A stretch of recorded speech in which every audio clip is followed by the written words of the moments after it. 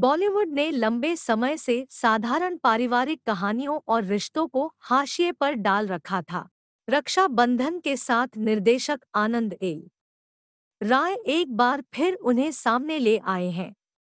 अक्षय और अन्य सभी कलाकारों ने इसमें पूरी ऊर्जा से काम किया है। बॉलीवुड फ़िल्मों में साधारण जीवन जीने वाले परिवार लापता हो चुके हैं रिश्ते और उनसे जुड़ी भावनाएँ हिंदी फ़िल्मों में लंबे समय से हाशिए पर हैं। कहानी में यदि परिवार की ज़रूरत भी होती है तो गिनती के किरदारों को दिखाकर जल्दी से छुट्टी पा ली जाती है। लेकिन निर्देशक आनंद एल राय की फ़िल्म रक्षा बंधन न केवल परिवार को नए सिरे से अपने सिनेमा में लाती है, बल्कि भाई बहन माँ बाप घर की चारदीवारी मिडिल क्लास समाज और उसमें अब तक मौजूद कुरीतियों को दूर करने की बात करती है। कंप्यूटर ग्राफिक्स, वीएफएक्स से सजी फ़िल्मों के इस दौर में आपके सामने एकाएक सरल सामाजिक फ़िल्म आती है। जिसमें भाई बहन का रिश्ता और कुरीतियों में पिसते आदमी की ज़रूरी चिंताओं पर फोकस नज़र आता है। रक्षा बंधन इस लिहाज से अपने समय की एक अलग फ़िल्म है। फ़िल्म एक भाई और उसकी चार बहनों की कहानी है। लेकिन इसके बीच में लव स्टोरी का रोचक एंगल भी है।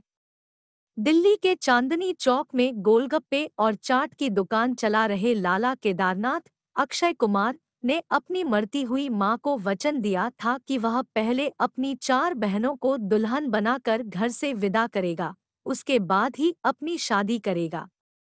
अब ट्विस्ट यह कि केदार के मोहल्ले में ही रहने वाली सपना भूमि पेडनेकर बचपन से उसकी दुल्हन बनने का सपना देख रही है। केदार को भी उससे प्यार है और उसे ही शादी करना चाहता है। इधर दहेज के अभाव में केदार की बहनों की शादी नहीं हो पा रही है और उधर सपना के पिता कुछ ही महीनों में रिटायर होने से पहले हर हाल में बेटी की शादी कर देना चाहते हैं। उन्होंने केदार की हालत समझकर बेटी के लिए लड़के देखना शुरू कर दिए हैं। क्या केदार समय से अपनी बहनों की शादी कर पाएगा? क्या वह चारों की शादी के लिए ज़रूरी दहेज जुटा पाएगा? फ़िल्म इन्हीं सवालों के जवाब लेकर दर्शकों के सामने आती है। रक्षा बंधन मूलतः दो हिस्सों में है। पहला हिस्सा उन भावनाओं का है, जो भाई बहन के स्नेह और एक दूसरे के लिए त्याग की बातें करती है। यहाँ भाई अपनी बहनों की शादी करने के लिए तमाम उठापटक करता है। लोगों के हाथ जोड़ने और रिश्ते जमाने वाली मैरिज ब्यूरो की आंटी तक के पैर पड़ता है।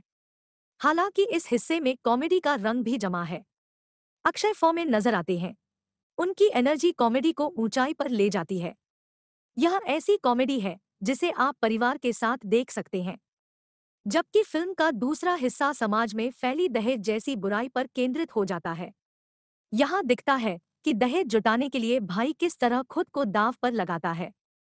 रक्षा बंधन की जान इसके कलाकार है।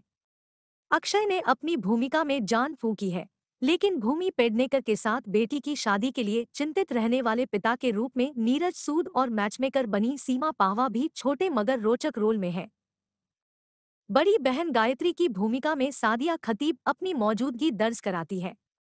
फ़िल्म की स्क्रिप्ट खास तौर पर उत्तर भारत के छोटे शहरों के दर्शकों को ध्यान में रखकर लिखी गई है, जहाँ रिश्तों के भावुक पक्ष पर आज भी ज़ोर दिया जाता है। रक्षा बंधन का दूसरा हिस्सा ज़रूर कई लोगों को कम मनोरंजक लग सकता है, क्योंकि यहाँ दहेज के विरुद्ध कड़ा संदेश है। साथ ही लड़कियों की शिक्षा पर बात की गई है। हालाँकि दूसरे हिस्से में राइटर जोड़ी हिमांशु शर्मा और कनिका ढिल्लो ने तेज़ी से कई सारी चीज़ें समेटी है। आनंद एल राय का निर्देशन सधा हुआ है, और उन्होंने अपने तनु वेड्स मनु वाले दर्शकों को ध्यान में रखते हुए यहाँ पूरा ड्रामा रचा है। रक्षा बंधन के मौके पर यह मौजूद फ़िल्म है। इस मूवी को हम देते हैं तीन स्टार्स आउट ऑफ़ पाँच स्टार्स। दोस्तों, अगर आपको आने वाली मूवी के बारे में और अपडेट चाहिए तो प्लीज़ हमारी चैनल को सब्सक्राइब करें